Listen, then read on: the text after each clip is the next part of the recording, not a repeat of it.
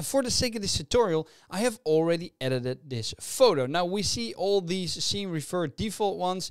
They are here before you start. Then I went to the Filmic RGB, changed some things. I changed something in the color balance, actually the saturation and some brightness. I've added the local contrast. I've added a low pass filter. Today we are going to talk about noise in Darktable. Now I uh, realize this is a very shitty image, but please stick with me because we need an image like this to explain the noise reduction in Darktable. And now I'm going to zoom in in the image and I see all this noise. Oh my god, this is horrible. This is horrible. I can't use this image. But Darktable has got some great tools, which I'm going to show you. So we are looking for denoise. So you have to fill it in here because if you don't, you won't see the modules that have to do with this. Uh, in this case, we got the Astro Photo Denoise, Surface Blur, Denoise Profiled Raw, Denoise, and we are going to use this one. But before I do, let me explain you something about noise. Right, so let's talk about what noise is, right?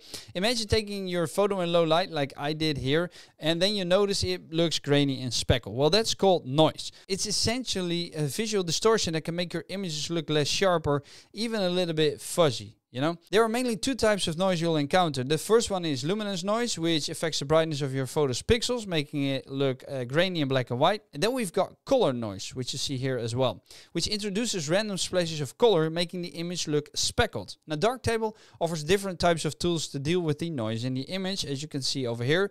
But remember that it's always best to get your settings right rather than fixing it in post, which means that you should use the lowest ISO possible, or at least stick to the native ISOs from your camera as much as possible. So that means uh, you should always try to shoot in the best lighting conditions possible. If there's no natural light for you, then make sure you use a flash, which I didn't over here, or use some artificial light, which I didn't bring here as well. So now that we've got that out of the way, it's time to fix some noise. And let me start by saying that this, what we're going to do is very, very old school, right? Because there are a lot of great AI tools, Topaz Denoise AI, for instance, that's the one I think, uh, which work great to denoise your image. Some are free, some cost money. Darktable is free, obviously, so I'm going to show you how to do this manually, but always remember there's a quicker way to do this. So the first module that we're going to use is the denoise profiled module. And the reason for that is because it's the most simple one. All you need to do is make sure that the mode is set to wavelets and then just boop, activate it and you see that the noise already started to disappear. Now what's good to know is that this module addresses the chroma noise in your image, right?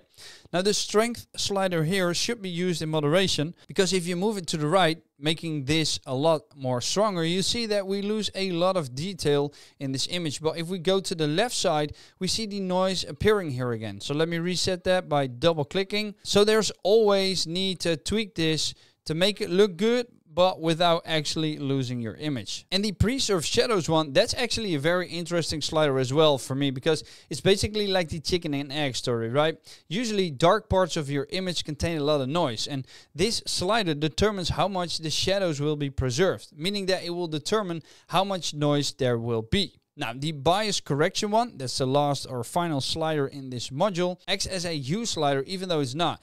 If you move this to the left, for instance, uh, you will see greens starting to appear in the shadows. And if you move it to the right, you will start to see reds in the shadows. So I'm going to leave this to default and then we're going to move on to the next module. Now, like I said, fill in denoise here, but oh no, we are missing a module that I'm looking for. So in this case, we need the contrast equalizer module because we can denoise here as well. Now, what's good to know about this module is that it has a couple of presets, right?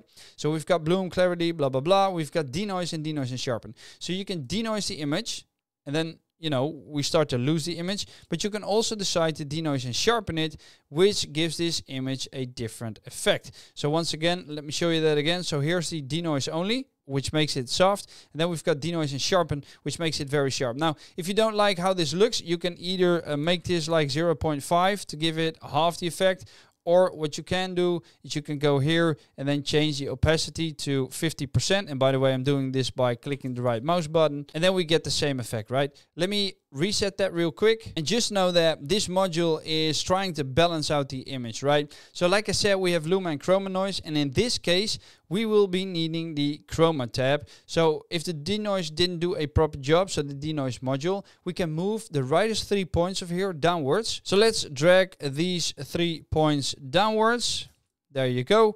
Now the image has got some more denoise in them. And just know that one module doesn't exclude the other, right? So make sure to not use either one of them, but jointly together. Then the one thing I wanted to show you, the final thing is the Luma tab. But instead of doing it here, we need to create a new instance. And that's actually one of the reasons why Darktable has new instances, because you can stack certain things. Uh, let's say you want different masks and stuff. You can use the new instance or duplicate instance for that as well. So new instance, we're going to use the Luma tab. And then we see these dots here as well. And we're going to drag these down just as much. And that will smooth out the image even more. But it's very important to prevent your image from going bust. And one of the things you could do, because this basically has a couple of things, we've got something in the foreground and we have something in the background, is we could draw a mask around here. Yeah. And then this will be excluded if we invert the mask. So let's say we're going here. I'm just going to show you that real quick. I'm going to draw a mask around it. There we go. Now we've got a mask and I'm going to invert that mask. And now everything is affected except what is inside this mask, right? So here's a before. You see a lot more noise coming back and then see an after. You see that only this is being affected and not this image, right?